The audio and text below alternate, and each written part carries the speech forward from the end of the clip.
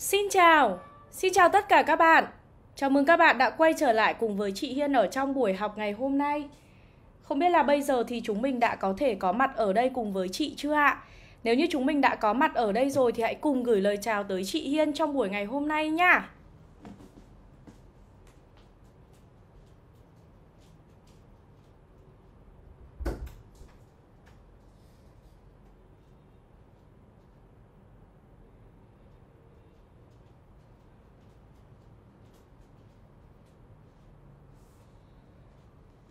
Các bạn ơi, các bạn đã có mặt ở trong buổi ngày hôm nay cùng với chị Hiên chưa ạ?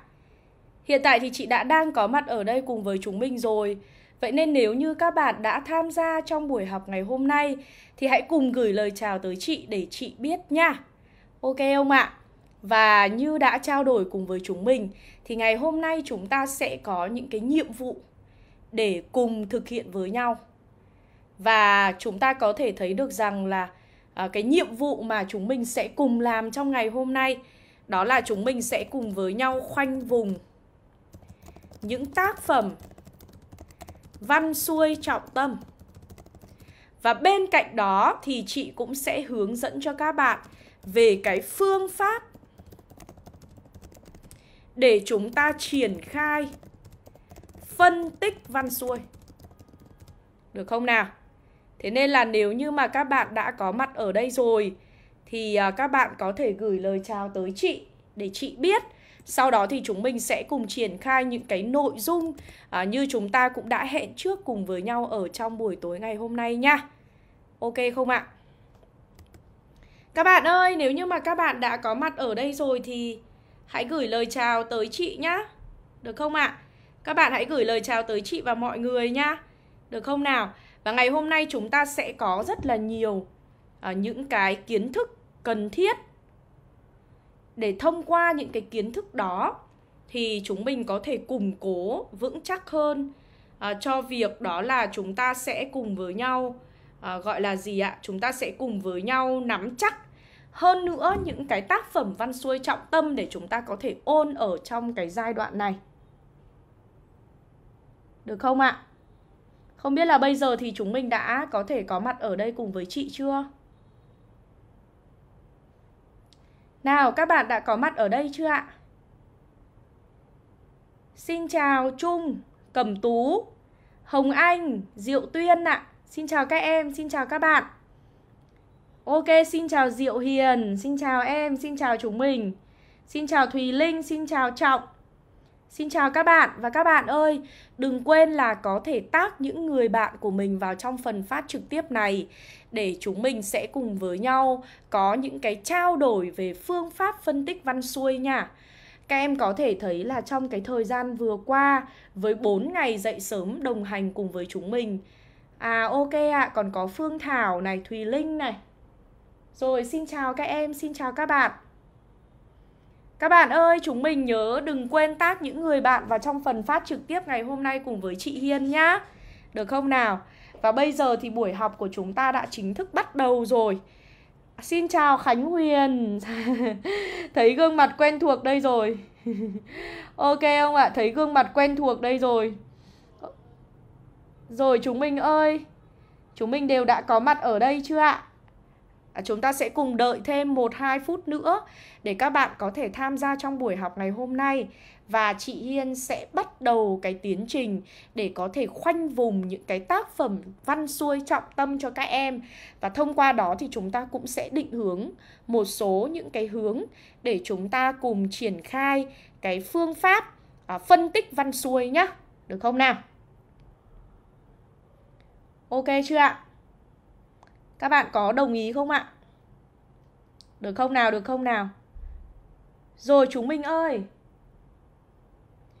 Thế thì có lẽ là bây giờ chúng mình sẽ cùng với nhau đến với nội dung của buổi học ngày hôm nay luôn nha. Được không ạ? Chúng mình sẽ cùng đến với nội dung của buổi học ngày hôm nay luôn nha. Đầu tiên, chúng ta sẽ cùng xét về những cái tác phẩm văn xuôi, những cái văn bản văn xuôi Được không nào? Đầu tiên sẽ là những cái văn bản văn xuôi mà chúng ta đang cần phải trọng tâm. Được không ạ? những cái văn bản văn xuôi mà chúng ta đang cần trọng tâm thì hiện tại là chị Hiên có chia cho các bạn thành các cái thể loại khác nhau, đúng không ạ? Ở trong văn xuôi thì các bạn sẽ học chuyện ngắn này. Các bạn sẽ học về ký này. Các bạn sẽ học về kịch này. Và ở đây chúng ta có một cái áng văn chính luận nữa. Đúng không ạ? Bây giờ chúng ta sẽ cùng với nhau xét trên cái tổng thể trước nhé. Chúng mình sẽ cùng với nhau xét trên cái tổng thể trước.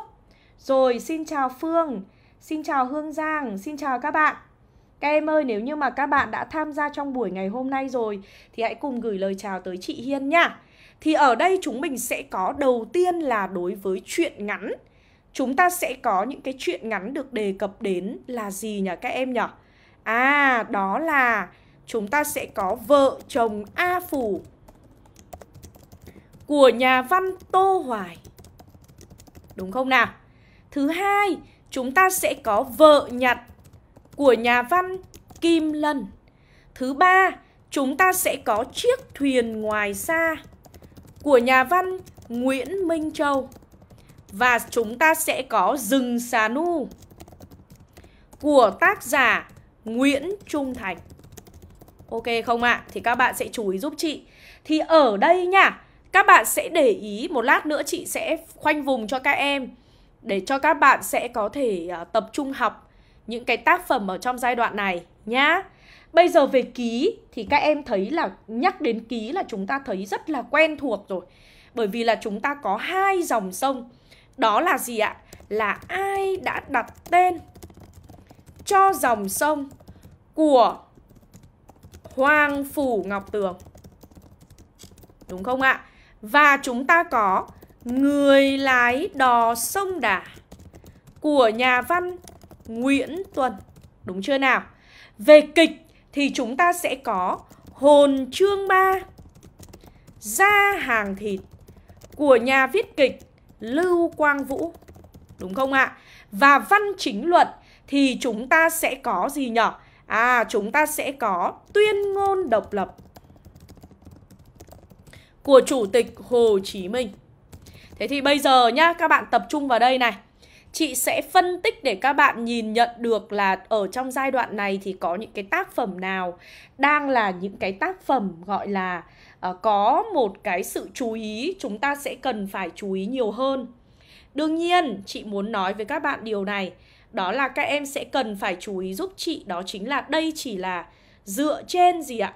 Đây là chúng ta chỉ đang dựa trên những cái phán đoán thôi. Các em nhá, chúng ta chỉ đang dựa trên những cái phán đoán thôi.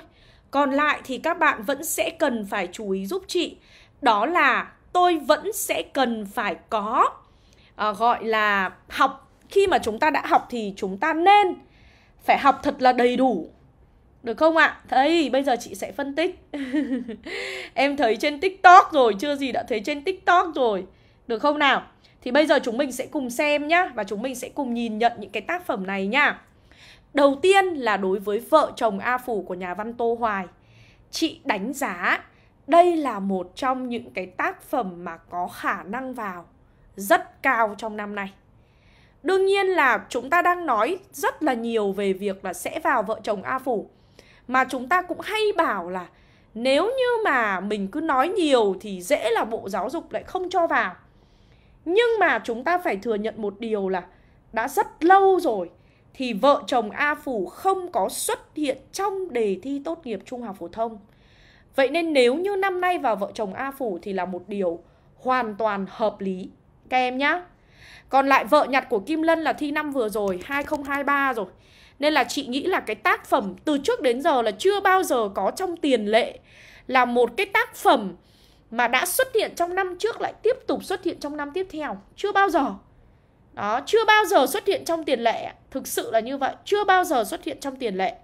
Chiếc thuyền ngoài xa của Nguyễn Minh Châu thì thi năm 2022 bản chất là chị thấy là cái khả năng quay lại cũng là rất là khá là thấp đó khả năng quay lại cũng khá là thấp ạ rồi rừng xà nu của Nguyễn Trung Thành thì à, đúng giống như các bạn nói Chúng ta cần phải thừa nhận một điều rằng là bản thân nhà văn Nguyễn Trung Thành thì cũng có dính tới một số những cái lùm xùm về chính trị.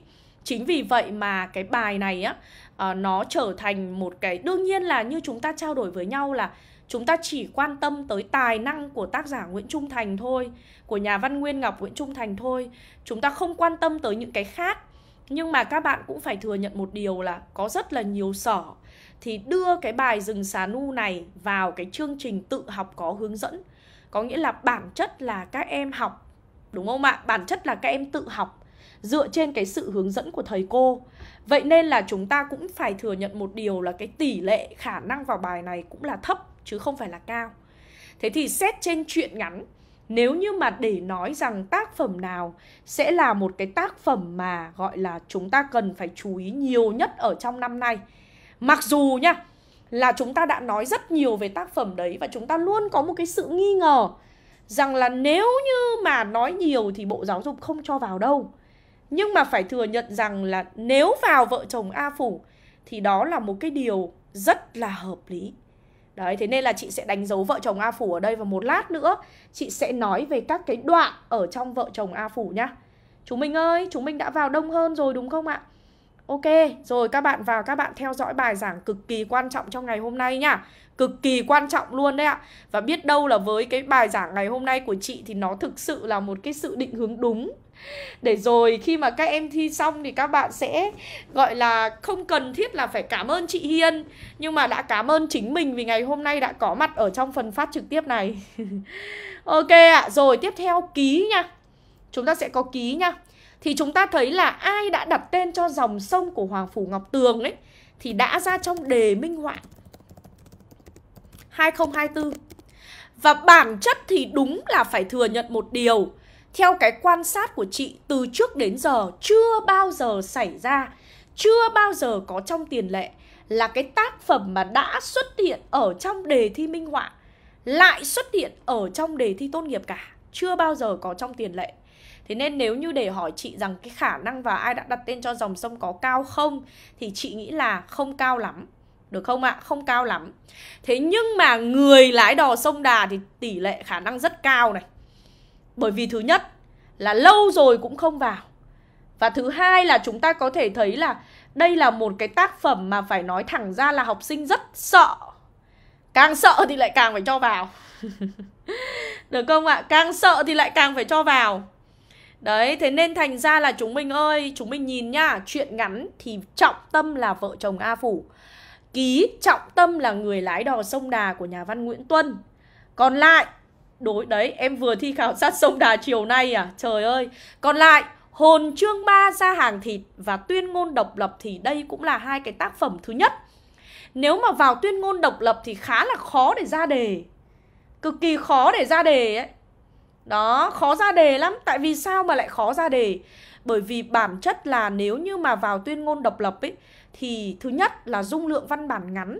Bây giờ nếu mà cho theo cái dạng trích đoạn, Không thể nào mà trích cả cái văn bản đó ra được.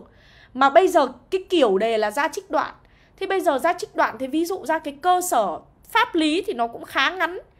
Cơ sở thực tiễn thì cũng gọi là phân tích cũng không có gì để phân tích nhiều Bởi vì bản chất nó cũng đã rất rõ ràng rồi. Thế nên là thường nếu như mà đề mà cho vào tuyên ngôn độc lập ấy thì rất là hay là người ta phải cho cả cái văn bản đấy Và đánh giá về cái gì đó ở trong văn bản đấy đó, còn lại hồn chương ba ra hàng thịt của Lưu Quang Vũ thì đây cũng là một cái thể loại mà như chị quan sát thì cũng rất ít khi chưa bao giờ chưa bao giờ nó xuất hiện trong đề thi từ khi gộp hai kỳ thi lại thành một kỳ thi chung. Thế nên thành ra là nếu như mà để hỏi chị Hiên rằng là những cái tác phẩm nào sẽ là những cái tác phẩm trọng tâm nhất trong năm nay đối với văn xuôi thì chị nghĩ là chúng ta nên để ý tới vợ chồng A Phủ của Tô Hoài và người lái đò sông Đà của nhà văn Nguyễn Tuân. Đó là hai cái tác phẩm mà theo chị là trọng tâm nhất. Đó, còn đương nhiên là đây là cái quan điểm dựa trên cái sự phân tích của chị thôi nhá. Rừng Sả nu vừa phân tích vừa rồi xong giờ lại hỏi lại chị rừng Sả nu thì sao? Kiểu dị bị mắng mà, Quốc Khánh ấy, hay vào muộn đấy. Hả, các bạn ơi, các bạn có hiểu không ạ? Thế thì bây giờ nếu như chúng ta nói về, Gọi là thể loại chuyện ngắn đi. Bây giờ chị sẽ nói trọng tâm, Gọi là nói một chút về cái phương pháp để làm nha. Phương pháp làm phân tích văn xuôi nha. Thì ở đây các bạn có thể thấy này, Nếu như mà vào vợ chồng A Phủ của nhà văn Tô Hoài, Thì chúng ta ngay lập tức có thể xác định được luôn Chẳng có lý do gì mà các bạn lại không xác định được về những cái đoạn trọng tâm ở trong bài này đúng không? Uhm, rồi, được không ạ? Không có gì chúng không không có lý do gì mà chúng ta lại không xác định được trọng tâm ở trong cái đoạn này. thơ cái gì mà thơ đang nói về văn xuôi đấy, lại bị mắng này. Quỳnh Trang ơi, cẩn thận lại bị chị Hiên mắng cho này. Đang nói về văn xuôi, bốn buổi vừa qua học trọng tâm về văn xuôi đang tổng kết lại về văn xuôi, lại hỏi về thơ đấy. đấy. Thế có bướng không chứ gì? Rồi, chúng mình nhá. Cẩn thận nhá, giai đoạn này chị đang rất là nhạy cảm này. Không vớ vẩn là chị Hiên nói luôn, chị Hiên mắng luôn. Rồi, xin chào Thảo giờ mới hello hello cái gì hả? Hello cái gì có biết là chị đã vào được 15 phút rồi không hả mà vẫn hello? Rồi chúng mình ơi Thế thì trước tiên nha Chị khoanh cho này Thứ nhất là đối với vợ chồng A Phủ Thứ nhất là đối với vợ chồng A Phủ của nhà văn Tô Hoài Thì các em ơi Đầu tiên nha, Là chúng ta có cái đoạn 1 đấy. Cái đoạn 1 này là cái đoạn mà nói về, Tức là nhà văn Tô Hoài giới thiệu về nhân vật Mỹ Qua một cái đoạn văn chữ tình ngoại đề, thì bản chất chị thấy đoạn này chưa bao giờ xuất hiện trong đề thi cả. Nói luôn là như thế. Vì nó quá ngắn và chị thấy cái đoạn này Nó cũng không thể hiện được một cái nội dung trọng tâm Bởi vì các em biết được rằng là Cái tinh thần mà chúng ta có một cái tinh thần chung Ở trong vợ chồng A Phủ của nhà văn Tô Hoài là gì? Là người ta hướng tới cái việc ca ngợi cái sức sống tiềm tàng Của con người lao động miền núi Đúng không? Thế thì bây giờ cái đoạn mà bây giờ chị nói luôn là cái đoạn đầu giới thiệu về nhân vật Mỹ là ai, ở xa về các kiểu các kiểu Thì làm gì có nói về cái sức sống tiềm tàng gì Thế nên bản chất là cái đoạn này cực kỳ ít vào Hầu như là không có xuất hiện đâu Nhá, hầu như không có xuất hiện Mà cái đoạn này phân tích dễ mà Bạn nào mà đã học thì sẽ thấy là đoạn này phân tích rất là dễ luôn Ok chưa ạ? Tiếp theo này, chúng ta sẽ có cái đoạn 2 cộng với đoạn 3. Đây sẽ là cái cái cái gì ạ? Đoạn 2 cộng đoạn 3. Đây sẽ là cái phần nói về cái nguyên nhân. Nguyên nhân Mị trở thành cô con dâu gạt nợ không công cho nhà thống lý. Đúng không ạ? Thì bản chất là chúng ta thấy được rằng là cái đoạn này cũng sẽ là một cái đoạn mà khá là khó vào vì nó cũng chưa bộc lộ được nhiều, chưa bộc lộ được nhiều về cái vẻ đẹp tiềm tàng của nhân vật. Thế nên đoạn này cũng là một cái đoạn rất là khó để vào. Ngoài ra thì chúng ta có cái đoạn 4 cộng với đoạn 5. Đây sẽ là cái đoạn mà nói về gì ạ? Đoạn này thì sẽ nói về cái cuộc sống của Mỹ. Ở nhà thống lý bá cha. Thì các em thấy được rằng đoạn này cũng khá là khó để hỏi vào ấy.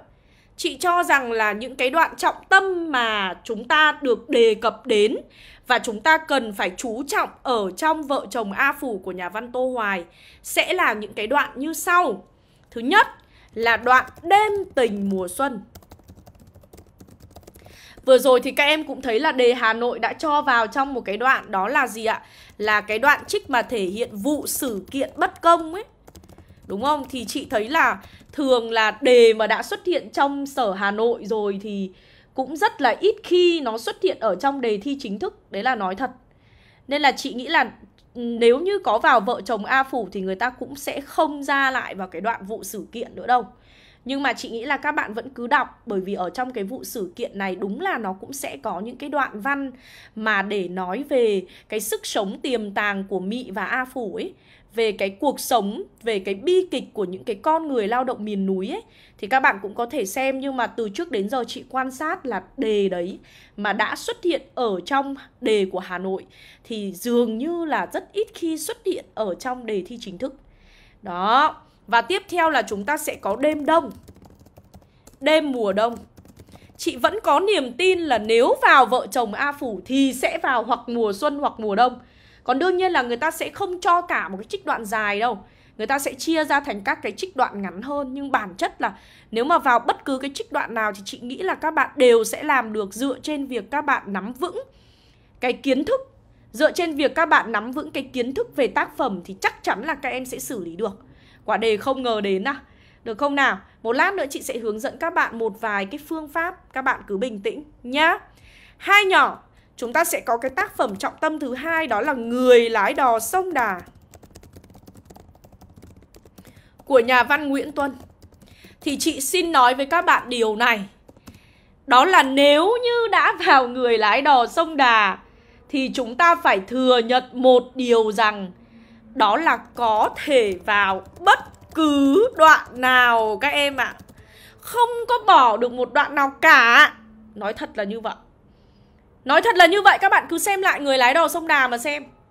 Không có bỏ được một cái đoạn nào hết luôn ý Đoạn nào cũng thể hiện những cái nội dung liên quan tới hình tượng con sông Đà Hoặc là hình tượng người lái đò sông Đà Nên chúng ta không có thể bỏ được bất cứ đoạn nào đâu Đoạn nào cũng có thể vào Thế nên là bài này cũng thực sự trở thành một cái thách thức đối với các bạn.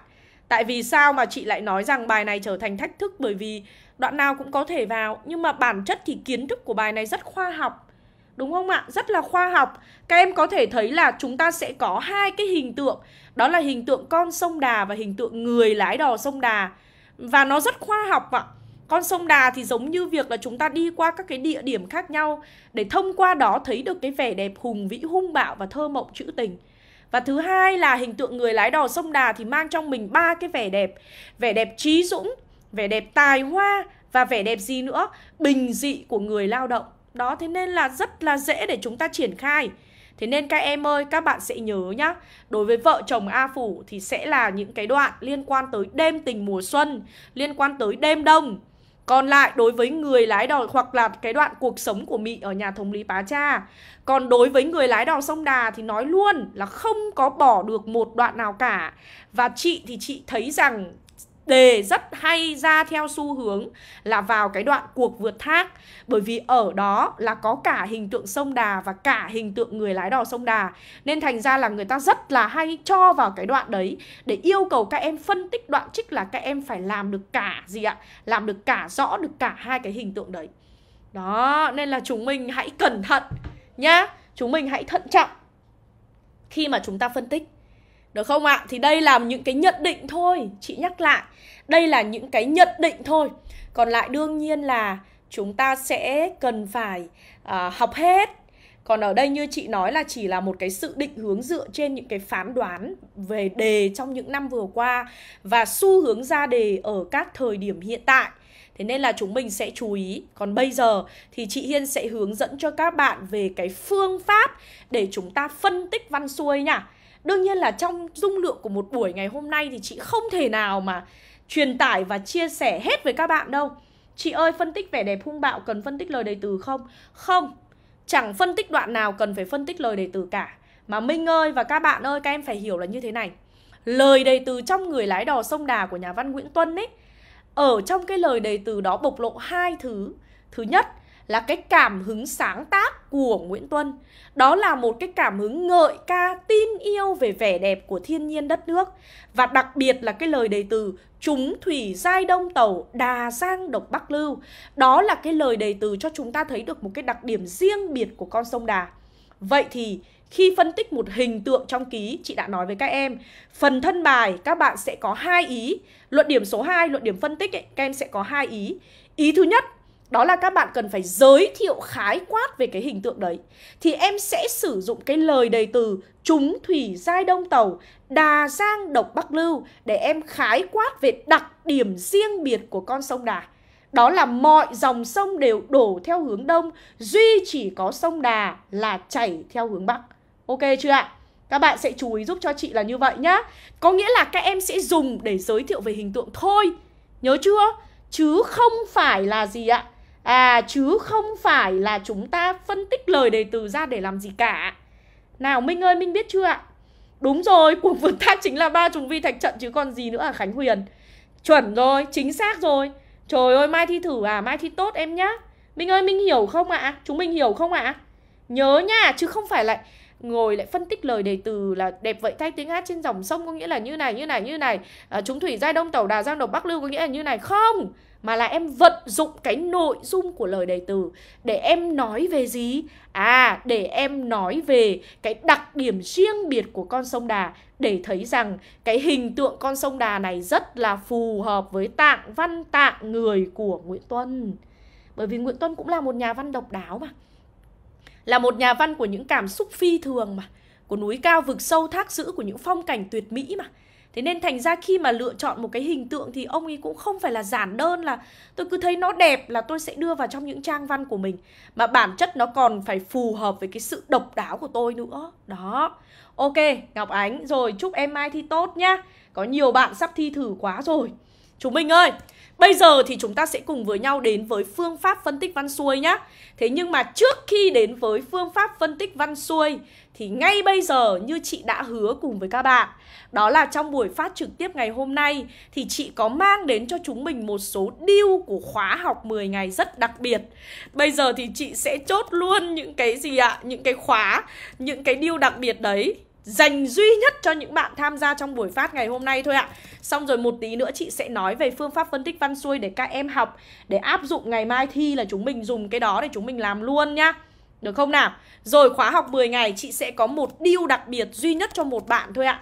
Và bạn nào muốn đăng ký thì chúng mình sẽ để lại comment tại đây luôn là em muốn đăng ký à, Sau đấy thì chắc là phải dựa vào sự may mắn của các bạn thôi ạ Được không nào?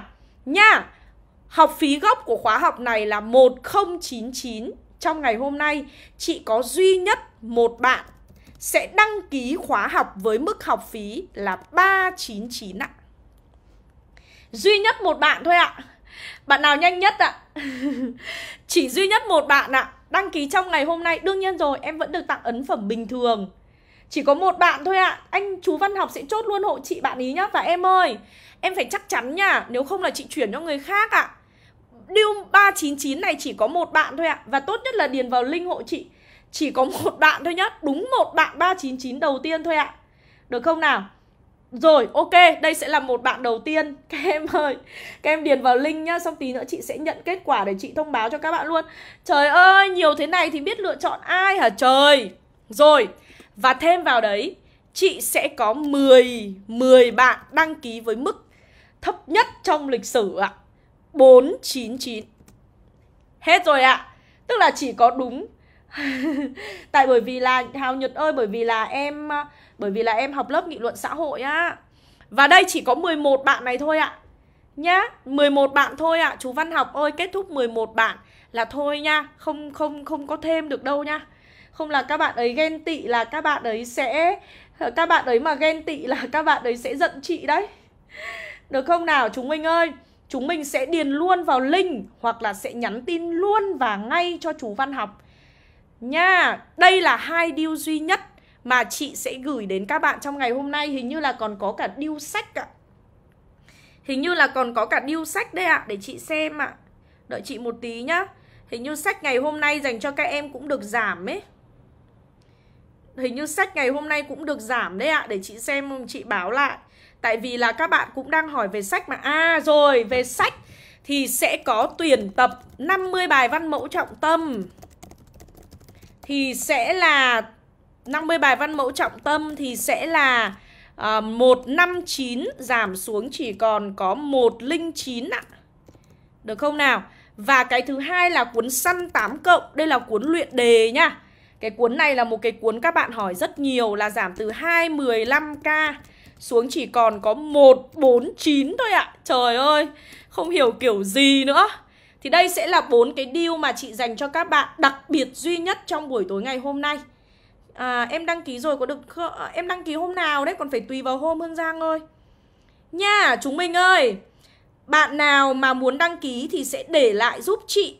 Ở đây comment là em muốn đăng ký để chốt cái đó. Điền link nhưng không nằm trong 11 bạn thì sao?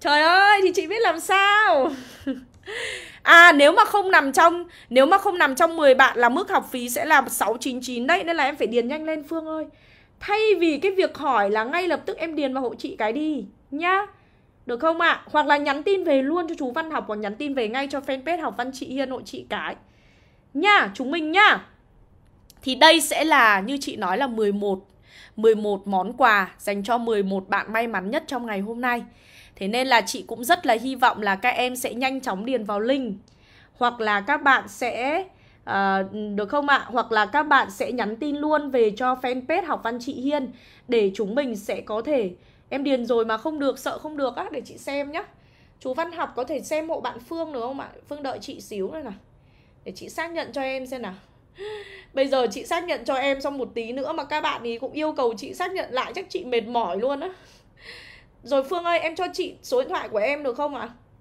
Để chị xem mà em em cho chị số điện thoại của của em được không ạ? À à được đấy Được rồi Phương ơi chị thấy rồi Thậm chí là em là còn thứ ba luôn á Chị thấy rồi Thế thì Phương ơi Thế thì chị em sẽ thuộc 10 bạn 499 nhá Phương nhá Bởi vì là có một bạn đầu tiên rồi nhưng mà bạn nào mà điền bạn nào á mà điền đầu tiên á mà sau đấy lại không chốt nữa là chị chuyển cái 399 này cho bạn tiếp theo nhá. Em xong rồi ạ. À. ok ạ à, các bạn ơi, đấy. Thì một là các em sẽ nhắn tin về luôn cho fanpage học văn chị Hiên hoặc là nhắn cho chú Văn học đi để chú Văn học sẽ giúp các em giữ cái slot 499 thấp nhất là 499 trong ngày hôm nay. Được không ạ? À? Phương Thảo à? Chị xem nào. Có, có, có Phương Thảo, chị thấy Phương Thảo rồi ạ Chị thấy Phương Thảo rồi, chị thấy Phương Thảo rồi Ok Các bạn ơi Chú Văn học uh, điền lại link đi ạ à, Để chị ghim link cho các bạn ý ạ Nhá, để chị ghim link cho các bạn ý ạ Và nhớ giúp chị ạ. Đây sẽ là deal duy nhất trong buổi livestream ngày hôm nay. Chắc chắn là sau khi livestream này kết thúc Thì chúng ta sẽ không còn deal đó nữa đâu.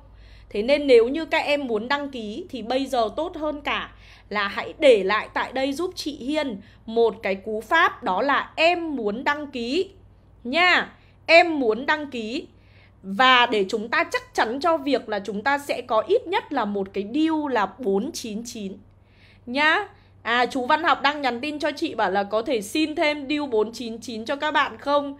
Bởi vì cũng thấy là các bạn ấy đang hỏi rất là nhiệt tình. Ok ạ, à, khi nào học ạ? À? Dự kiến là đầu tháng 6 mình sẽ học để chuốt lại toàn bộ kiến thức trước khi mình thi Phương Thảo ạ. Chắc chắn là các em sẽ không phải thất vọng về khóa học này.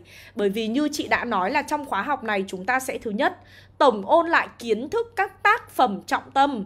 Thứ hai, học về phương pháp làm đọc hiểu nghị luận xã hội và nghị luận văn học.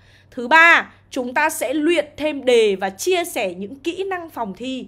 Và đã có rất là nhiều hàng mỗi năm có gọi là gì ạ? Phải số lượng phải cả nghìn bạn đã bước ra từ cái khóa học này và đã đạt được rất là nhiều những cái thành công trong khóa học. Thế nên là chị cũng tin rằng là với cái việc mà chúng ta sẵn sàng cho việc chuốt lại kiến thức thì chắc chắn là các em sẽ có thể đạt được những cái điều mà các bạn mong muốn. Ok ạ à, chú Văn Học đang muốn là xin thêm deal 499 cho các em trong buổi tối ngày hôm nay đây. Bởi vì có vẻ như là thấy là các bạn cũng đang có được một cái sự phấn khởi nhất định khi mà chúng ta được đăng ký khóa học với một cái mức học phí rất là ưu đãi. Thế thì chị sẽ quyết định là chị sẽ tặng thêm 10 suất nữa. Tức là sẽ có 20 bạn có deal là 499 nha. Sẽ có 20 bạn có deal là 499. Thế nên là các em sẽ nhắn tin luôn về cho chú Văn học và điền vào link giúp chị để chúng mình sẽ có được cái slot này nhá. Và nhớ là điền thông tin chính xác ạ Để các anh chị có thể chủ động liên lạc với các em một cách tốt nhất Được không ạ? Một cách dễ dàng nhất Được không nào? Ok chưa ạ? Rồi, thế thì bây giờ chúng mình sẽ cùng với nhau đến với cái nội dung mà chị muốn chia sẻ tiếp theo nha Và chúng ta cũng có cả những cái deal về sách này nữa Deal về sách này thì không giới hạn Tức là miễn là các em tham gia buổi live ngày hôm nay Và các bạn muốn, Và các bạn muốn mua gì ạ? Và các bạn muốn mua sách thì các em sẽ được mua sách với giá này. Chị rất khuyến khích các bạn mua cuốn này ạ. Đây là một trong những cuốn mà nhận được phản hồi rất tốt trong giai đoạn luyện đề của các bạn lớp 12. Cuốn này thì sẽ có nội dung là trình bày phương pháp về đọc hiểu nghị luận xã hội và nghị luận văn học. Và ở trong cuốn này thì chúng ta sẽ có 20 đề trọng tâm và 20 đề đó sẽ có đáp án siêu chi tiết để các em có thể tham khảo. Thế nên chị cũng rất khuyến khích là các bạn có thể mua cuốn này Thì cứ kết thúc buổi ngày hôm nay đi, Các bạn muốn tham khảo gì thêm Thì các bạn sẽ nhắn tin cho chú Văn Học Hoặc là nhắn tin về fanpage Học Văn Chị Hiên để được tư vấn thêm nhá Ok chưa nào? Còn bây giờ thì chúng mình sẽ cùng quay trở lại với cái điều mà chị đã nói với các em Đó là chúng ta sẽ cùng với nhau đến với phương pháp Phân tích văn xuôi Được không ạ? À? Bản chất của phương pháp phân tích văn xuôi, chị vẫn dùng cái kỹ thuật mà chị đã từng trao đổi với các bạn Có thể là nghe có vẻ mới mẻ, Nhưng mà đây cũng là một trong những cái phương pháp mà chị cảm thấy rất là hiệu quả khi mà chúng ta tiến hành phân tích văn xuôi ạ.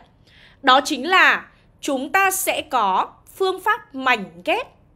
Phương pháp mảnh ghép ở đây có nghĩa là gì? Phương pháp mảnh ghép ở đây được hiểu, đó chính là tôi sẽ viết một mở bài hay, một thân bài hay và một kết bài hay. Được không ạ? Một mở bài hay, một thân bài hay và một kết bài hay thì tôi sẽ tạo ra một bài viết hay. Chúng mình nhá. Thì ở đây chúng mình sẽ chú ý giúp chị là đầu tiên để có thể chuẩn bị sẵn sàng cho việc phân tích văn xuôi thì chắc chắn là chúng ta sẽ phải cần có phần mở bài hay trước, đúng không? Đã bao giờ các bạn xác định là đối với từng cái nhóm thể loại thì chúng ta sẽ chuẩn bị những cái mở bài mà dùng được cho cái nhóm thể loại đó chưa? Ví dụ như đối với mở bài. Thì ở đây đối với chuyện ngắn đi. Nhá. Bản chất là chúng ta có thể chuẩn bị trước những cái phần mở bài mà sử dụng được cho nhiều dạng đề khác nhau. Cấu trúc của mở bài trong phương pháp phân tích văn xuôi, bởi vì là chúng ta viết theo dạng bài văn mà. Thế nên mở bài của chúng ta thì sẽ bằng gì ạ? Mở bài của chúng ta thì sẽ bằng lựa chọn mở bài gián tiếp. Đó. Và mở bài gián tiếp thì sẽ bằng gì? Thì sẽ bằng dẫn dắt cộng với đặt vấn đề. Được không ạ? À? Sẽ bằng dẫn dắt cộng với đặt vấn đề. Thì ở đây các bạn sẽ chú ý giúp cho chị một điều là chúng ta có thể thấy được một cách rất là rõ ràng đó chính là gì ạ? Đó chính là cái phần dẫn dắt cộng với đặt vấn đề này thì cái phần đặt vấn đề là phần chúng ta sẽ lấy ở đề bài. Và bản chất thì đây là một cái điều mà không thể thay đổi, đúng không ạ? Chúng ta sẽ không thể thay đổi nó. Chúng ta không thay đổi được nó. Còn phần dẫn dắt là phần mình có thể thay đổi nhá. Phần dẫn dắt là phần mình có thể thay đổi. Thì ở đây các bạn sẽ chú ý giúp cho chị là chúng ta có thể chuẩn bị trước những phần dẫn dắt. Chúng ta có thể chuẩn bị trước những phần dẫn dắt. Thì ở đây, chị thấy là chúng ta có thể đi từ một số những cái phần dẫn dắt chuẩn bị trước. Ví dụ trong chuyện ngắn, thì mình thấy rằng là mình có thể đi từ cái phong cách sáng tác phong cách sáng tác. Hay là gì ạ? Hay là hay có thể lấy một cái khía cạnh riêng hơn, đó là giọng văn của người nghệ sĩ. Để mình dẫn vào. À được không ạ? Trong quá trình sáng tác, mỗi người nghệ sĩ à chúng ta sẽ có đây ạ, điều còn lại. Điều còn lại đối với mỗi người nghệ sĩ là giọng nói của riêng mình. Đó, được không ạ? À? Sau đó thì mình sẽ dựa vào cái kiến thức liên quan tới tác giả để mình viết cho cái phần này. Các em có hiểu ý chị không ạ? Nếu nhà văn Kim Lân gây ấn tượng với bạn đọc bằng một giọng văn như thế nào đó. Ok chưa ạ? À phẩy Nguyễn Minh Châu. Nguyễn Minh Châu à, lại mang một màu sắc riêng cho trang văn của mình với chất giọng. Đó được không ạ? Thì tô hoài đúng không? Nhà văn bước ra từ những ký ức tuổi thơ. Lại ghi dấu ấn. Sâu đậm trong lòng bạn đọc.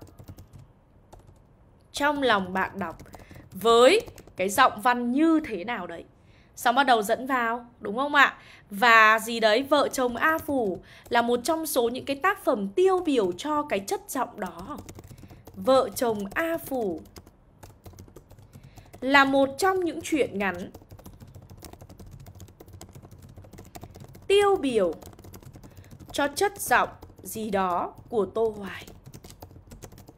Để lại ấn tượng với bạn đọc. Với bạn đọc. là trích đoạn gì đấy, trích trích đoạn ra và thể hiện nội dung gì. Dễ không? Các em ơi, các em cứ tham gia khóa học 10 ngày đi. Trời ơi, chị sẽ cho các em rất là nhiều phương pháp viết mở bài. Và các em sẽ thấy là cực kỳ là gì ạ? Các bạn sẽ thấy là cực kỳ là dễ để triển khai luôn. Tự nhiên mình mình cảm giác như Giống như kiểu là bây giờ mình phải lựa chọn cái gì ấy. Thật sự là như thế. Nó sẽ giống y hệt như việc là mình Tôi tôi tự đặt ra là Ui bây giờ tôi phải lựa chọn cách nào để tôi viết? Tự nhiên tôi thấy nhiều hướng để tôi đi quá. Đây là một cách nhá. Cách thứ hai. Là em có thể đi từ không gian nghệ thuật Của người nghệ sĩ. Các em ơi, chưa hết 20 slot 499 đâu. Các em đăng ký đi, nhanh lên. Sắp hết rồi, chị thấy là cũng đông đông rồi đấy, Thấy báo lại cũng đông đông rồi. Các em đăng ký đi ạ 499 Không bao giờ có cái mức học phí khóa 10 ngày rẻ như thế đâu, Chắc chắn là như vậy. Nên là nếu như mà các bạn đã muốn là có một khóa học để ôn tập giai đoạn cuối Để thực sự nâng cấp ở trong những cái ngày cuối cùng khi chúng ta thi Thì nhất định các em phải lựa chọn khóa này. Đây là nói thật, thật lòng là như vậy. Để sau này các em không hối tiếc nhá. Rồi, thì ở đây này, không gian nghệ thuật của người nghệ sĩ Cái này dễ mà, đúng không? Cái này quá easy đối với các bạn luôn. Chị chỉ ra là các em thấy luôn nhá. Ví dụ Tô Hoài.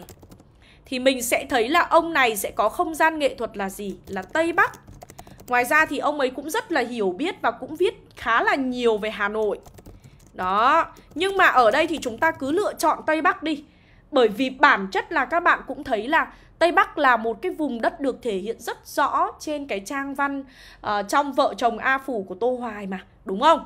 Thứ hai là gì? Là ông Kim Lân. Thì các bạn đều biết rằng là Kim Lân là một cái nhà văn gắn bó với nông thôn và nông dân Việt Nam. Và chúng ta cũng biết được một điều rằng là cái mảnh đất nông thôn Bắc Bộ ấy, đúng là một cái miền đất mà đã trở thành một cái không gian cho những sáng tác của nhà văn Kim Lân. Ta thấy ở đó là gì ạ? À, là những cái cánh đồng cò bay thẳng cánh là gì ạ? Là những cái mảnh đất là những cái ngôi làng mà thơm thơm mùi gốc dạ bảng làng khói ban chiều. Và chúng ta thấy được rằng là gì nào? Chúng ta thấy được rằng là ở đây thì các bạn có thể thấy rất rõ là mảnh đất nông thôn Bắc Bộ à, thì chúng ta có thể thấy được là à, đây là một cái miền đất đã trở đi trở lại trong những sáng tác của nhà văn Kim Lân. Ok chưa ạ? À, rồi, tiếp theo là chúng ta sẽ có gì đây ạ? À, à chúng ta sẽ có đó chính là Nguyễn Minh Châu. Đúng không? Nguyễn Minh Châu. Nguyễn Minh Châu thì sẽ là mảnh đất miền Trung, giải đất miền Trung đầy nắng và gió đúng không ạ? Tiếp theo là Nguyễn Trung Thành thì chúng mình sẽ có là Tây Nguyên đúng không ạ? Đó, thì cái này rất là đơn giản luôn, mình đi vào đúng không? Ở đây chúng ta có là gì? Nhà thơ chế Lan Viên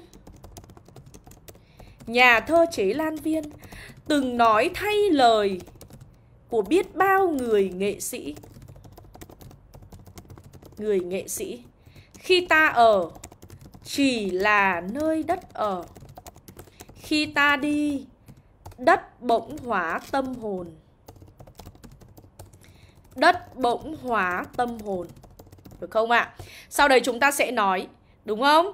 Trong quá trình sáng tác Trong quá trình sáng tác Đã có rất nhiều Những mảnh đất Hóa tâm hồn hóa tâm hồn trong trang văn của người nghệ sĩ. Đúng không? Trong trang văn của người nghệ sĩ. Phải không ạ? Ta biết đến nhà văn Kim Lân. Đúng không? Một gì ạ? Một tác giả cả cuộc đời đi về đi về với thuần hậu nguyên thủy của cuộc sống nông thôn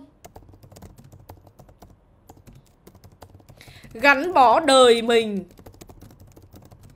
bên gì mảnh đất nông thôn Bắc Bộ. Đúng không? Hay Nguyễn Trung Thành Nhà văn nguyện một lòng Đúng không? Nhà văn gì? À nhà văn yêu thương vô cùng mảnh đất Tây Nguyên đầy nắng và gió. Với những cá nhân anh hùng, những tập thể anh hùng. Được không? Chấm.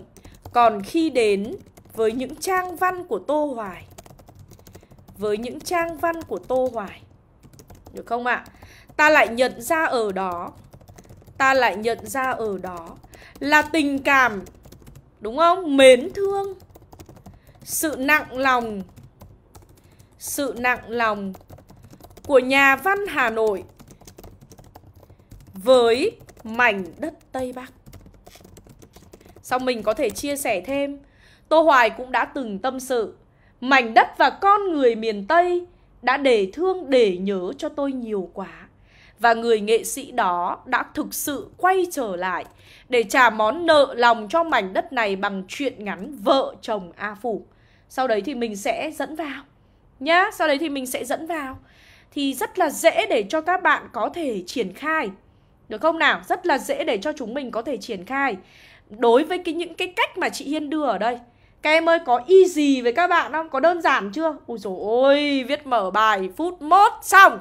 Đấy là chuyện ngắn nhá. Còn đối với ký Tức là đối với hai bài sông ấy thì nếu như mà các em muốn viết mở bài trong trường hợp là chúng ta chưa triển khai được à, từ những cái ý tưởng mà chị Hiên đã đưa có thể đi từ thông tin tác giả, có thể đi từ nhận định gì ạ? À, À, có thể đi từ gì ạ? À, có thể đi từ uh, những cái cảm nhận cá nhân, đi từ đề tài hoặc là kết hợp những cái cách đó lại với nhau thì các bạn cũng có thể sử dụng đối với ký bởi vì bản chất là cả hai tác phẩm này thì đều viết về dòng sông Nên là các em hoàn toàn có thể sử dụng gì ạ? Các bạn hoàn toàn có thể sử dụng những cái cách dẫn đi từ đề tài Dòng sông ấy để các bạn viết có nhiều cách để viết lắm. Trời ơi đề tài này là một cái đề tài quá hay và quá hấp dẫn ở trong thi ca Trong văn học nên là các bạn hoàn toàn có thể chủ động triển khai được. Thì ở đây chúng mình sẽ có thể chú ý giúp cho chị này. Chúng ta sẽ có nhá. À, Bây giờ chúng ta sẽ liệt kê ra một số những cái tác giả mà gắn bó với những cái con sông đất nước đi. Thì chúng ta có Văn Cao gắn liền với sông Lô Hùng Tráng. Đúng không? Hoàng Cầm Nhà thơ Hoàng Cầm Là nỗi nhớ khi đây ngang qua sông Đuống trôi đi một dòng lấp lánh Được không ạ? À? Rồi thì gì ạ? À rồi thì Hoài Vũ Cả cuộc đời của mình gắn liền với con sông vàm cỏ tha thiết trở vù xa. Hoài Vũ là con sông vàm cỏ. Đúng không ạ? Thì ở đây chúng ta có gì đây? Nguyễn Tuân là sông Đà. Đúng không? Còn lại, gì nữa nhở? Hoàng Phủ Ngọc Tường. Hoàng Phủ Ngọc Tường là gì? Là sông Hương. Về bản chất thì chúng ta thấy là đối với ai đã đặt tên cho dòng sông Hoặc là đối với gì ạ? Tràng Giang Huy Cận làm sao được? Tràng Giang là chỉ nói là sông dài thôi Nhật Hào ạ. Không cụ thể đến tên của một dòng sông nào cả. Thế nên thành ra cũng khá là khó để mình triển khai đối với Tràng Giang. À, Mình khá là khó để triển khai đối với Tràng Giang của Huy Cận đấy Hào Nhật ạ. Thế nên là chị thì chị khuyên em là em có thể sử dụng những cái uh, gì ạ dẫn chứng mà chị Hiên đưa ra ở đây để em kết hợp khi viết nhá Hào Nhật nhá thì ở đây chúng ta có thể sử dụng ví dụ như là à, không biết từ bao giờ thì hình ảnh những dòng sông đã trở thành cội nguồn cho biết bao sáng tác của người nghệ sĩ. Ta từng biết tới, đúng không? Ta từng biết tới à, dòng uh, nhà thơ, ta, ta từng biết tới tác giả Văn Cao với dòng sông Lô Hùng Tráng. Hoàng Cầm là nỗi nhớ khi ta đi ngang qua sông đuống trôi đi một dòng lấp lành. Hoài Vũ cả cuộc đời gắn liền của, của gì ạ? Hoài Vũ cả cuộc đời gắn liền với con sông vàm cỏ tha thiết chờ phù sa. Thì Hoàng Phủ Ngọc Tường lại song hành cùng sông Hương đi vào trái tim bạn đọc qua ký. Ai đã đặt tên cho dòng sông? Ví dụ thế. Hiểu ý chị không? Ví dụ thế. Được không ạ? Còn nếu như mà để các bạn có thể chủ động nâng cấp hơn cho cái việc viết của mình Đấy, nếu như mà chủ động nâng cấp hơn cho cái việc viết của mình thì các bạn hoàn toàn có thể triển khai hay hơn. Đó là ai đó đã từng nói rằng đất nước có nhiều dòng sông. Nhưng chỉ có một dòng sông để thương để nhớ.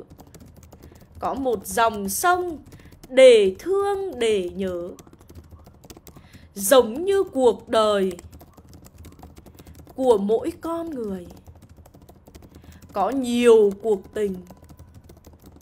Nhưng chỉ có một cuộc tình. Để mãi mãi mang theo. Chậm. Dòng sông để thương để nhớ của mỗi người rất khác nhau. Dòng sông để thương để nhớ của mỗi người rất khác nhau chấm. Nếu như văn cao cả cuộc đời của mình gắn liền với dòng sông lô hùng tráng nếu hoàng cầm là nỗi nhớ khi ta đi ngang qua sông đuống trôi đi một dòng lấp lánh. Một dòng lấp lánh. Nếu như hoài vũ cả cuộc đời của mình gắn liền với con sông vàm cỏ, tha thiết chờ phù sa, thì Hoàng Phủ Ngọc Tường lại song hành cùng sông Hương đi vào trái tim bạn đọc qua ký ai đã đặt tên cho dòng sông. Ví dụ là như vậy. Dễ không? Không thì gì ạ? Thì Nguyễn Tuân lại gì ạ? Đi thẳng vào trái tim bạn đọc qua thiên tùy bút Người lái đò sông đá Ok chưa?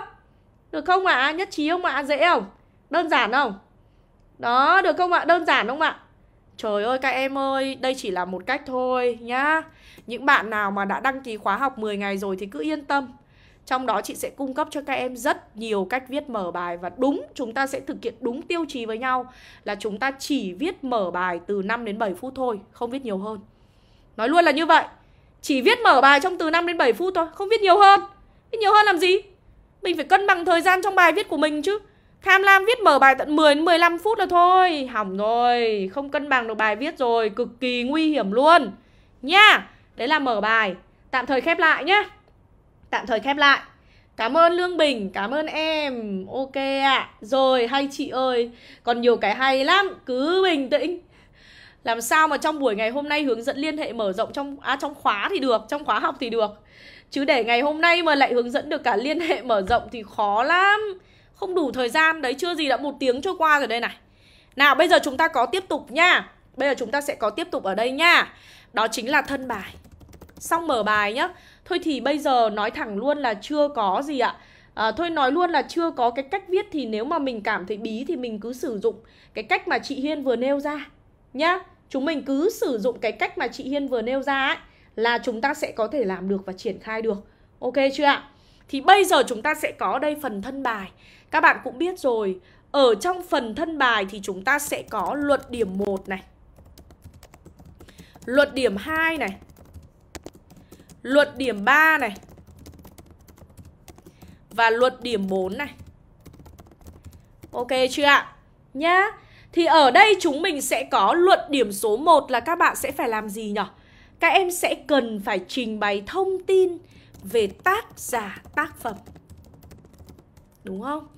Chúng ta sẽ cần phải trình bày thông tin về tác giả, tác phẩm không? Sáng mai hết rồi Chúng mình trải qua 4 buổi cùng với nhau rồi ấy Được không ạ? À? Chúng mình trải qua 4 buổi cùng với nhau rồi, Hoài Tâm ạ à. Thế nên là thành ra là sáng mai là không phải dậy nữa nhá, Không phải đợi chị nữa nha Biết chưa? Buổi tối ngày hôm nay thì sẽ là cái buổi học cuối rồi Thế nên là cũng là một cái hành trình ngắn, Không phải là ngắn mà dài thì cũng không phải là dài Nhưng mà chị rất biết ơn, bởi vì mỗi buổi sáng thức dậy, có các em chờ đợi chị xong rồi các bạn rất là nhiệt tình để trò chuyện với chị. Chị nhận ra rằng là mình thực sự đang làm đúng và mình vẫn tiếp tục theo đuổi cái đam mê của mình. Rất là mong là chúng mình sẽ yêu văn hơn. Rất là mong là các em sẽ yêu văn hơn. Bởi vì thực sự là đây là một cái môn học mà đã thay đổi chính bản thân chị và chị cũng mong là văn học có thể thay đổi các em. Trời ơi làm sao mà nói về thơ thêm được à Ngọc Linh? Rồi ạ à, Em mong chờ đến khóa 10 ngày quá chị ạ. À. Chị cũng thế. Chúng mình phải chờ đợi thôi Hào Nhật nhá. Được không ạ? Nhật Hào nhá. Chúng mình phải chờ đợi thôi. Ok không? Chúng mình phải chờ đợi nhau một xíu nữa thôi. Đến hôm đấy là phải cháy hết mình nhá. Học cho nó hết sức nhá. Được không ạ? Năm nay được cái là chị Hiên lại à, Chị Hiên lại rồi. Chị Hiên lại có em bé có bụng to để có một cái bụng bầu tròn xoe để ngồi học khóa 10 ngày với các em rồi. Vẫn nhớ năm 2021 ạ. Cái giai đoạn đấy là chị cũng bầu một em bé đầu tiên rất là lớn rồi. Thế xong là ngày nào cũng thế cứ bắt đầu 8 rưỡi là 9 giờ là chị bắt đầu ngồi vào một cái ghế của chị, Một cái ghế rất là quen thuộc Và đến bây giờ các anh chị ở cái khóa năm 2021 ấy, Là là bao nhiêu ta? 2000 hay 2001 ta? Thế là cứ cứ ngày nào cũng bị ấn tượng bởi cái việc là Có một cái bà bụng đã to vượt mặt rồi mà tại sao hôm nào cũng ngồi từ 9 giờ? Ngày, tại vì sao mà hôm nào cũng ngồi từ 9 giờ đến tận 1 2 giờ sáng? Mà giảng cứ xa xả xa xả xa xả trong khóa 10 ngày như thế, đến bây giờ các bạn thì vẫn bị ấn tượng bởi cái hình ảnh đấy của chị. Và năm nay thì lại tiếp tục như thế, các em ạ. À. cũng tầm đó luôn. Đấy, thế nên là yên tâm đi ạ. Chị lúc nào cũng chuẩn bị đủ một cái sự, một cái tinh thần và nhiệt huyết, năng lượng để cháy cùng với các em nên là chị cũng rất mong là các em sẽ có thể đăng ký cái khóa học này trong ngày hôm nay. Bởi vì thứ nhất là các em cũng đang thấy là chúng ta đang có ưu đãi rất là tốt. Đó, chúng ta đang có ưu đãi rất là tốt. Cái thứ hai là gì? Cái thứ hai là chúng ta đang có một cái cơ hội, tức là ít nhất là có thể là bây giờ các bạn chưa nghĩ đến việc đăng ký, nhưng có thể là sang tháng 5 đến lúc đấy các bạn cảm thấy thực sự mình đang không ổn rồi và mình nghĩ là mình phải đăng ký thôi thì đương nhiên là các bạn vẫn sẽ đăng ký được thôi, bởi vì bản chất là đầu tháng 6 thì mình mới học. Nhưng mà bây giờ chúng ta đang có học phí tốt như thế, tại sao các em lại không cho mình một cái cơ hội để chúng ta được gặp nhau và ôn tập trong khóa 10 ngày? Đúng không nào?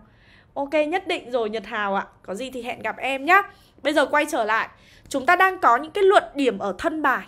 Và các bạn cũng biết được rằng là Luận điểm số 1 thì sẽ là luận điểm chúng ta trình bày về tác giả, tác phẩm. Luận điểm số 2 Thì chúng mình sẽ trọng tâm ở đây Đó là gì ạ? Chúng ta sẽ trọng tâm ở đây, Đó là tiến hành phân tích trích đoạn Tức là đi làm rõ về giá trị nội dung Và giá trị nghệ thuật Được không ạ? Đối với văn xuôi thì các em thấy là trong luận điểm 2 này nhá, Có thể là ví dụ đối với chuyện ngắn thì người ta sẽ yêu cầu các bạn là phân tích nhân vật. Đó. Đối với ký Thì người ta sẽ yêu cầu các bạn là phân tích vẻ đẹp hình tượng. Đúng không? Thì bản chất là thường là sẽ chỉ có hai cái này thôi. Nếu như mà xét về những cái dạng chính thì các bạn sẽ thấy là chúng ta sẽ chỉ có hai cái này thôi. Thế thì bây giờ các em cũng thấy được điều một điều là Nếu như mà đề mà yêu cầu phân tích nhân vật ý, thì quá đơn giản rồi Chúng ta sẽ thường trong luận điểm số 2 này là chúng ta sẽ triển khai hai ý Ý thứ nhất là gì nhỉ các bạn nhỉ? Ý thứ nhất là chúng ta sẽ giới thiệu về nhân vật và ý thứ hai là chúng ta sẽ phân tích nhân vật. Đúng không? Bám sát vào đoạn trích. Bám sát vào đoạn trích. Và đương nhiên là cái mục đích của việc là phân tích nhân vật ở trong đoạn trích ấy thì bao giờ là chúng ta cũng sẽ cần phải tập trung vào gì nhỉ các bạn nhỉ?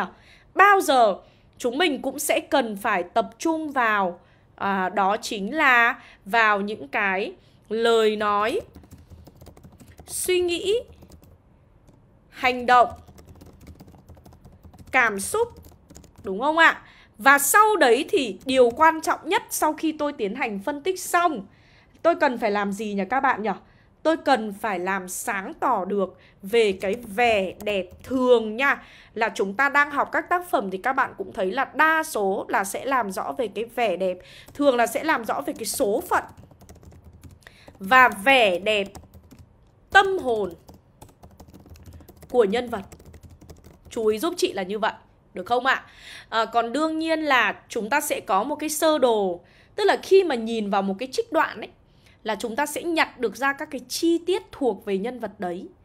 Thế xong rồi từ chi tiết đấy thì chúng ta cũng sẽ có được những cái cách để chúng ta tư duy xem nó là hành động là lời nói là suy nghĩ hay là cảm xúc. Và từ đó thì chúng ta sẽ biết được là thể hiện cái nội dung gì. Và bên cạnh đó thì đương nhiên chúng ta cũng sẽ phải đan cài thêm những cái nhận xét về gì ạ những cái nhận xét về tài năng của tác giả thì cái này chị nghĩ là chúng ta sẽ cần phải có nhiều thời gian hơn để trao đổi. Còn lại, đối với phân tích vẻ đẹp của hình tượng thì chúng ta cũng sẽ có hai ý. Đó là chúng ta sẽ cần phải giới thiệu về hình tượng. Được không ạ? À? Và sau đấy thì chúng ta cũng sẽ phân tích vẻ đẹp của hình tượng. Được không ạ? Nhá, chúng ta sẽ cần phải phân tích để gì?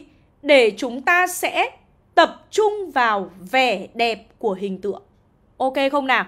Thì ở trong cái vẻ đẹp của hình tượng này, chúng ta sẽ vẫn bám vào những cái chi tiết và bản chất là chị Hiên luôn coi nó sẽ là dẫn chứng. Thì ở đây các bạn có thể thấy một điều là thường nha, là khi chúng ta làm bất cứ một cái hình tượng nào thì chúng ta cũng sẽ thường uh, kẻ ra một cái bảng về kiến thức nền ấy để chúng ta dễ định hình. Chẳng hạn ví dụ như nếu như chúng ta có hình tượng ở đây là hình tượng sông Hương đi. Tôi có sông Hương nơi thượng nguồn đi. Sông Hương nơi thượng nguồn. Thì ở đây là mình sẽ có dẫn chứng. Thì các em sẽ luôn nhớ giúp chị một điều là gì? Là bản chất cái dẫn chứng này là tôi lấy ở đâu? Tôi lấy trên văn bản. Nhưng mà đương nhiên là cái này là cũng phải dựa vào kiến thức nền các em đã học để các em nhặt ra dẫn chứng nha. Chứ không phải là tự nhiên là các bạn có dẫn chứng đâu. Và các bạn phải nhặt là phải nhặt hợp lý nha. Bởi vì bản chất ở đây chúng ta thấy là đề thì đang nói về cái gì? Ở đây chúng ta thấy rằng là đề thì đang nói về vẻ đẹp của sông Hương và yêu cầu chúng ta làm rõ vẻ đẹp của sông Hương mà. Nên là các bạn sẽ chú ý giúp chị một điều là chúng ta sẽ cần phải nhặt dẫn chứng. Và dẫn chứng này là dẫn chứng là những cái câu văn chúng ta lấy từ văn bản. Được không ạ? À? Và phần bình luận này thì sẽ là cái phần mà các bạn dựa vào việc chúng ta học kiến thức nền Cộng thêm với cả tư duy của các bạn nữa, Thì chúng ta sẽ tạo ra những cái phần bình luận hấp dẫn và khi mà chúng ta đã thiết lập được những cái bảng như thế này rồi thì các em sẽ cảm thấy là cái việc chúng ta triển khai các bài viết trong ký là vô cùng đơn giản luôn. Tương tự như vậy, đối với việc chúng ta phân tích một cái nhân vật trong tác phẩm truyện cũng thế thì thường là cái thường là cái bảng mà chị sẽ vạch ra cho các em khi hướng dẫn các bạn định hướng các bạn làm đề ấy thì bao giờ cũng sẽ có những cái ý là thứ nhất đó là vẻ đẹp đúng không ạ thứ nhất là trong đêm đông nhân vật mị với nhân vật mị được không ạ? Thì ở đây chúng ta sẽ có thứ nhất. Ở đây sẽ là những cái chi tiết. Và những cái chi tiết này chúng ta cũng sẽ lấy từ văn bản. Và sau đấy thì chúng ta cũng sẽ có một cái phần bình luận cho những cái chi tiết đấy. Học rất là dễ luôn, rất là hay để triển khai luôn. Chỉ là có thể là các em chưa bao giờ học theo cái hướng này hoặc là chưa bao giờ làm cho nó khoa học nên là các bạn còn cảm thấy phân tích văn xuôi khó thôi. Còn nếu như mà các bạn đã tư duy được theo cái hướng này, Nhặt ra được các chi tiết thuộc về nhân vật đấy Và đi sâu bình luận thì không có lý do gì các em không phân tích được. Chị đảm bảo điều đấy luôn. Vì nó rất là dễ, nó không hề khó đâu. Thật sự là như vậy. Đấy, thế nên là các bạn ơi, Hãy cố gắng lên Học văn xuôi không hề khó. Các em phải phải tìm ra cách. Các em phải có cách viết, Các em phải tìm ra cách. Được không ạ? Rồi đây Xong cái phần luận điểm số 2 nhá Trong cái phần luyện luận điểm số 3 này Thì chúng ta sẽ đánh giá Về đặc sắc nội dung và đặc sắc nghệ thuật. Được không ạ? À? Đó, và nhớ là phần này rất là ngắn gọn thôi Bởi vì chúng ta làm ở đây là chúng ta cần phải tổng hợp lại Và chúng ta khái quát lại Ok chưa? Và cuối cùng thì mình sẽ làm rõ cái yêu cầu nâng cao. Bản chất là yêu cầu nâng cao này nếu như em nhìn vào trong ba em điểm ấy Thì nó sẽ chỉ rơi vào từ 0,5 cho tới 0,75 điểm thôi. Thế nên là các em cũng biết được rằng là trong cái yêu cầu nâng cao này Người ta sẽ yêu cầu các bạn giống như kiểu là hỏi gì đáp nấy á.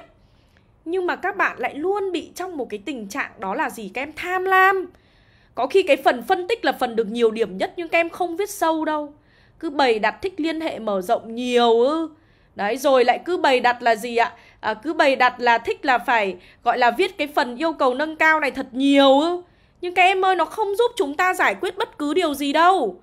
Mà khi chúng ta làm yêu cầu nâng cao này Thì điều quan trọng nhất phải là hỏi gì đáp nấy.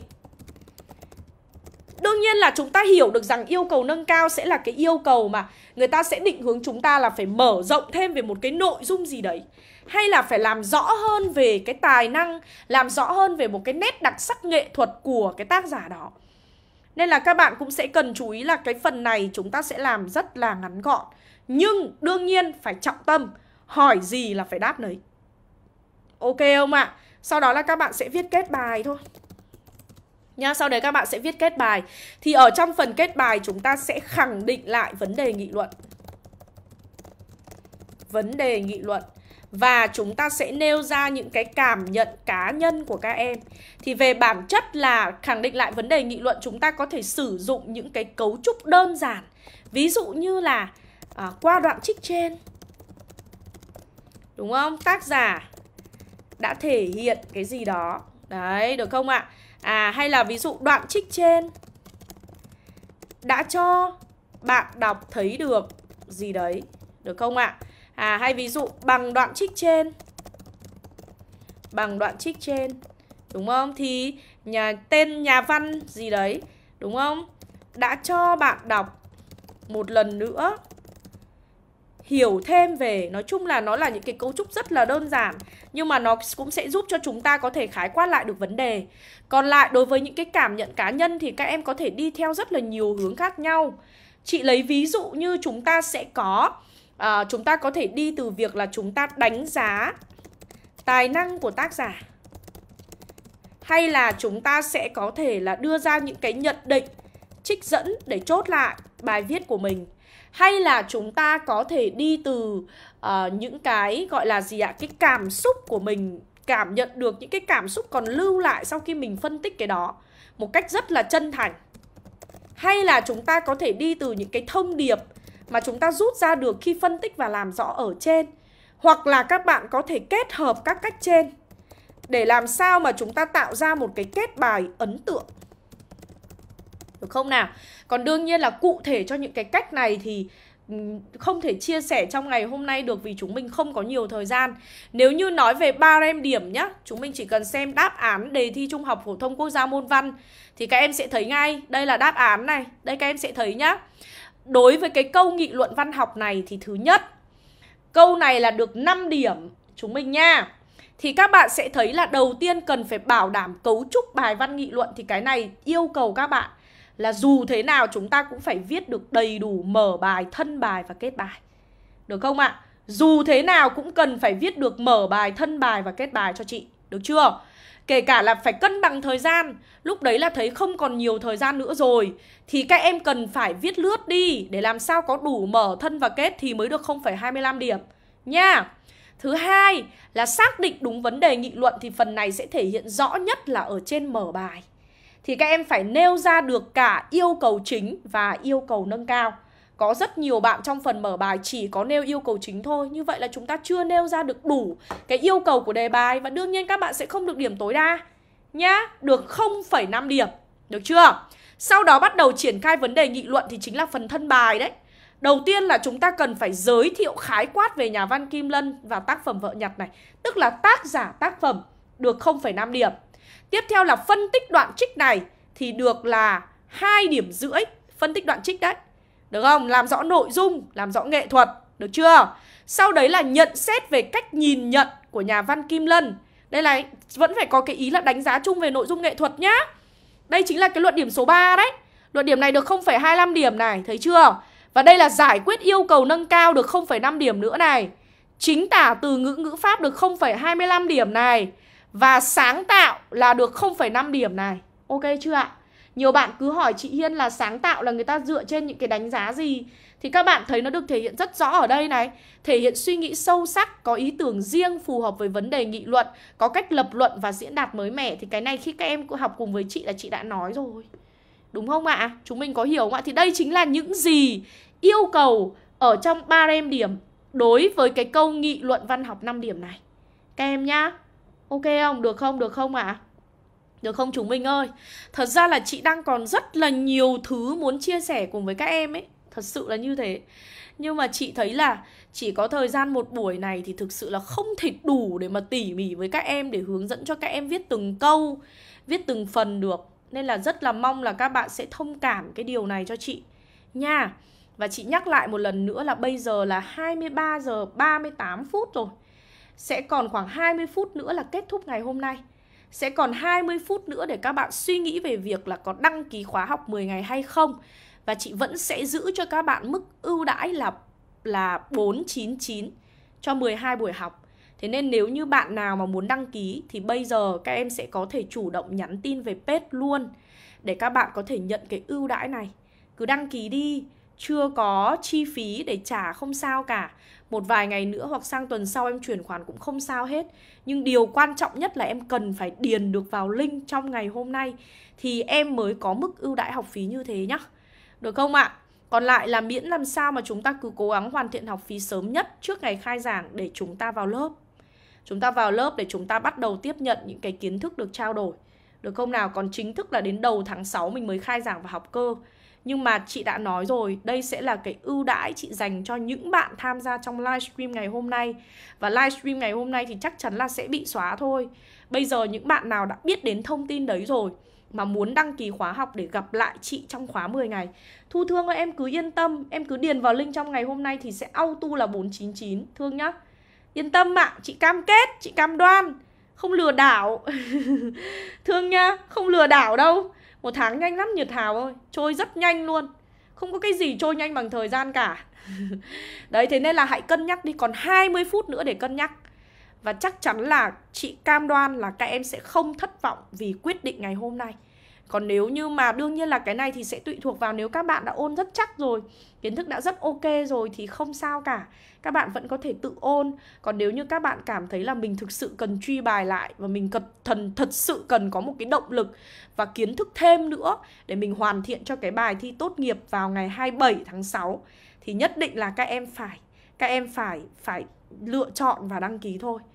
Rất là cảm ơn, biết ơn vô cùng hành trình vừa đi qua của chúng mình và chị luôn tin rằng dù cho phía trước chúng ta có những cái khó khăn đang đón đợi, thì chỉ cần các bạn nỗ lực, nhất định là các bạn sẽ đạt được cái điều mà các bạn mong muốn. Khóa học 10 ngày, có link lai này không ạ? À? Là sao ạ? À? Khóa học 10 ngày gồm những gì ạ? À? Sẽ có thứ nhất là ôn tập lại kiến thức các văn bản Thứ hai là học phương pháp xử lý đọc hiểu nghị luận xã hội và nghị luận văn học. Thứ ba là luyện hai đề trọng tâm. Và thứ tư là chia sẻ kinh nghiệm trước khi chúng ta thi. Đấy sẽ là những nội dung nha Mai Lan nhá. Được không nào? Ok ạ. À. em cũng cảm ơn chị rất nhiều à. Các em có biết không? Nếu như mà để hỏi về điều mà chị yên tâm đắc nhất thì chị cho rằng là cuộc sống này á, ai mà chẳng phải đương đầu với những khó khăn cũng sẽ có những thời điểm mình rất thất vọng về bản thân mình vì tại sao mình không thể làm tốt hơn. Nhưng suy cho cùng thì những thất bại sẽ giúp chúng ta trưởng thành hơn. Và điều quan trọng nhất, chỉ cần chúng ta kiên trì thì chắc chắn chúng ta sẽ đạt được những điều mà mình mong muốn. Hãy nhớ rằng điều quan trọng nhất là kể cả khó khăn thì bạn cũng không bỏ cuộc. Thì đấy sẽ là điều đưa bạn đến với những cái điều, đến với mục tiêu mà bạn mong muốn. Chị biết rằng bây giờ các em đang có rất nhiều những cái lo lắng cho kỳ thi tốt nghiệp sắp tới của mình nhưng không còn cách nào khác. Ngoài việc chúng ta phải nỗ lực và cố gắng đâu. Thế nên chị mong rằng là các bạn cũng sẽ đừng bỏ cuộc. Cố lên, chỉ còn hơn một tháng nữa thôi, hai tháng nữa thôi là chúng ta sẽ đến với kỳ thi quan trọng nhất rồi. Và nhắc, chắc chắn là các em cũng mong muốn chúng ta có thể bước được vào ngôi trường đại học mà chúng ta mong muốn, đúng không? Nên là các em phải nỗ lực lên nhá. Mai lan ơi, có em ạ. Có em nhá. Có được chấm chữa bài, có bài tập về nhà để em luyện thêm trong giai đoạn cuối nhá. Được không nào? Thế nên là chúng mình cố gắng lên nhé. Được không? Trai vô Được không ạ? À? Thôi nhá, thế nhá. Thế nhá các bạn nhá. Chị Hiên nghỉ like nhá. Chị Hiên xuống like nhá. Đi ngủ nhá 12 giờ đêm rồi dạo này ngày nào 5 giờ dậy. Cảm giác tức là các em phải hiểu là giai đoạn này chị đang phải Chị đang phải gọi là rất là tập trung cho lớp 12 Nhiều nhóm lớp này Nhiều kế hoạch, nhiều tài liệu, nhiều bài chấm nhưng mà chị thấy rằng là chị cảm thấy hạnh phúc vì điều đấy. Mỗi ngày thức dậy được làm việc, được cống hiến, được hỗ trợ các bạn, đấy là điều tuyệt vời nhất. Thế nhá hẹn gặp lại chúng mình trong khóa học 10 ngày, còn 15 phút nữa để đăng ký nhá để chúng mình có cái học phí là 499 nhá, được không ạ? Còn bây giờ thì xin chào và hẹn gặp lại các bạn. Bye bye, Tạm biệt chúng mình nhá. Ngày mai, sáng mai đừng đợi chị nha. Ok ạ. Tạm biệt các em. Xin chào và hẹn gặp lại. Chúc các bạn ngủ ngon nhá. Bye bye các em. Ok, bye bye ạ. À. Tạm biệt các bạn. Cảm ơn các bạn.